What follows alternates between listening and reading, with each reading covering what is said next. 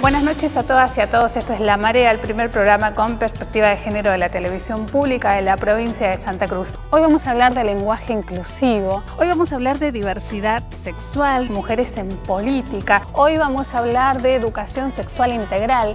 Hay que sortear obstáculos y uno de ellos tiene que ver con el tratamiento también de los medios de comunicación. Queremos este derecho, el Estado lo debe garantizar, que el aborto tiene que ser legal, seguro y gratuito en la Argentina para que no se mueran más pibas, para que no se mueran más mujeres. Y acá estamos, en la marea, hablando de esto.